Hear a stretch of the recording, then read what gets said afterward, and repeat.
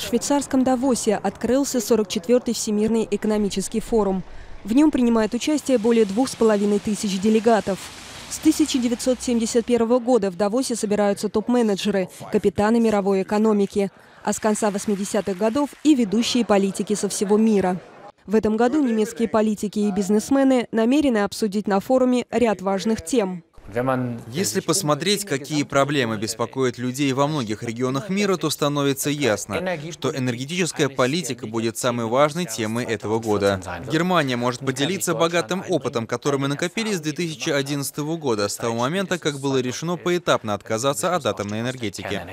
Другие важные темы, которые будут обсуждаться во время форума, это рост мировой экономики, высокий уровень безработицы среди молодежи, растущая пропасть между богатыми и бедными, а также ситуация в Сирии и проблемы экологии. Изначально экономический форум был задуман как своеобразная фабрика идей. В течение четырех дней участники форума интенсивно ищут пути решения мировых проблем – в последние годы программа форума была предопределена различными кризисами.